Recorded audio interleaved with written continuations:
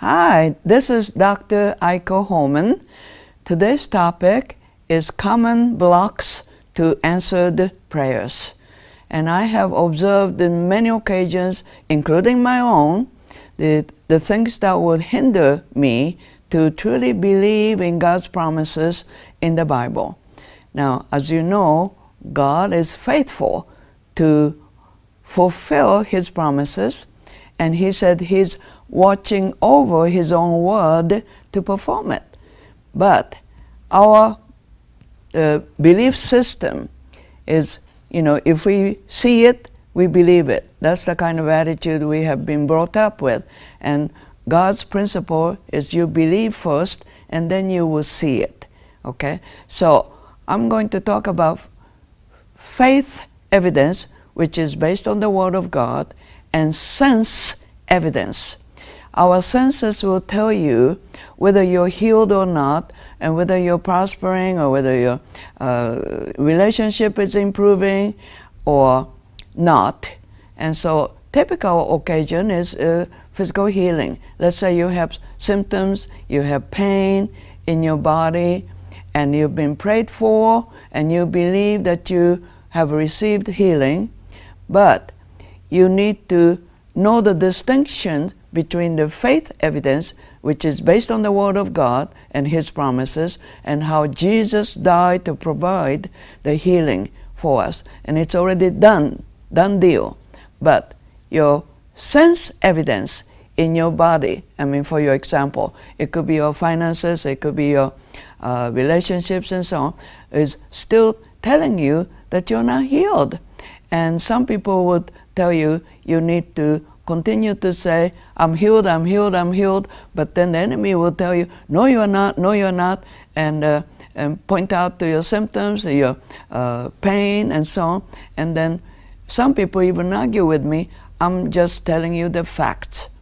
And so factual evidence is still real. If you have symptoms, if you have what the doctor says, and if you have pain, that's real. So you're not going to pretend that pain is not real, like some mind science people tell you. No, if your pain and symptoms in your body are uh, not real, well, then Jesus died in vain. And so we're not uh, uh, trying to pretend that we are healed or symptoms are gone. No, no, it's real. But we need to know the higher dimension of authority in the Word of God. And that's the reason I need to show you the diagram of heavenly perspective and how we enter into the heavenlies. That's where our spirit person is, even though your physical body is on this earth. That's obvious. And you have pain, you have symptoms, and so on. Your bank account is low, or you have strife with your loved ones, so you know whatever those uh, earthly conditions are. But you need to know the heavenly perspective and the reality of the heavenly position is a different kind of order.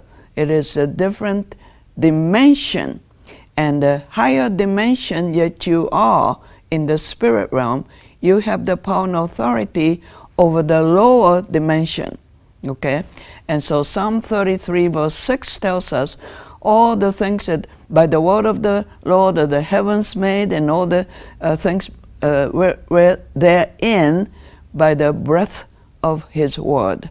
So that means the word of God and the breath of the Holy Spirit, that's a Ruach HaKodesh, that's the Holy Spirit, together with the Heavenly Father's will, produce all of the created uh, realm of the reality, both visible and invisible.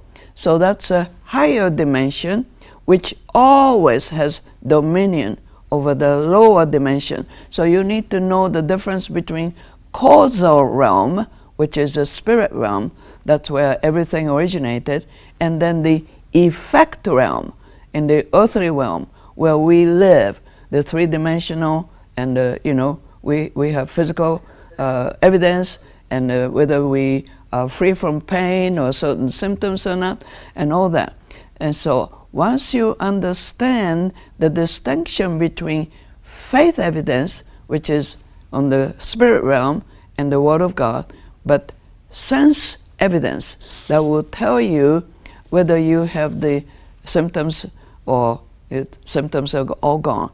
Well, if the pain is gone, all the symptoms are all gone, then you don't need faith, right?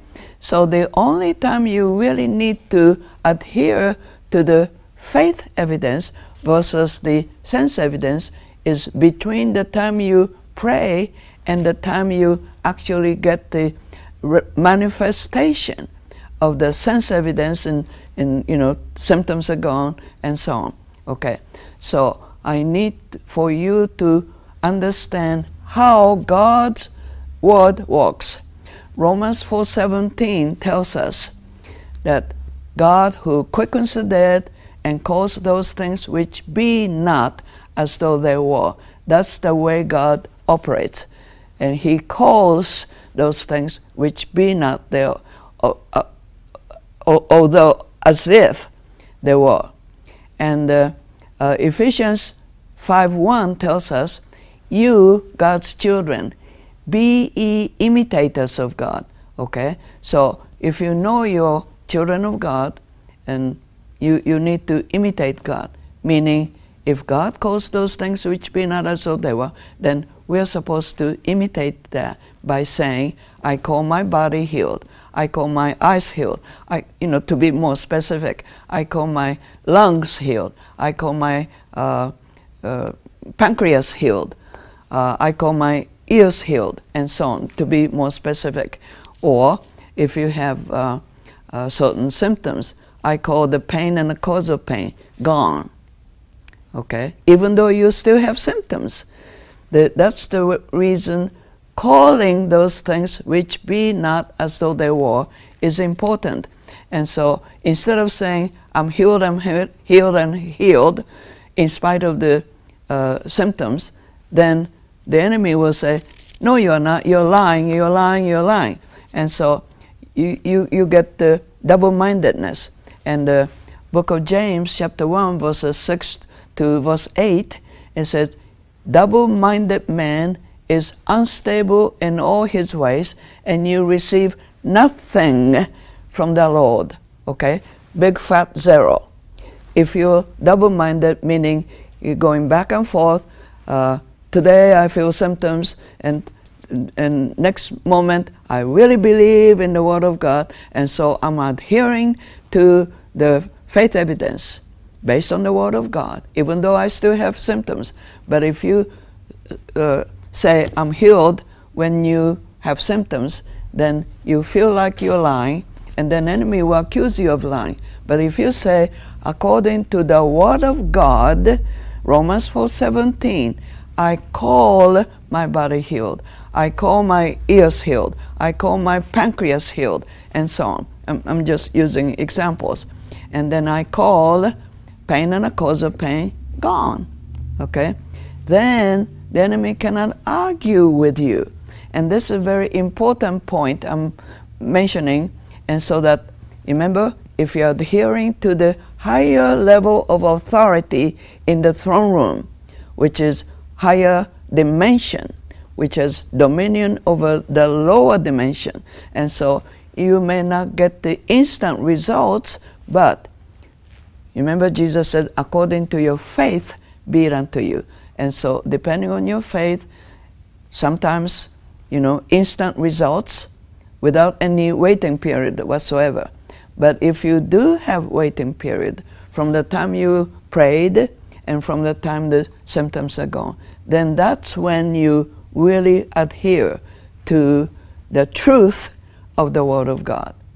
So the truth in the earthly realm is factual information. And what the doctor says is factual. And you're not arguing it. You're not pretending that they're not real. They are real.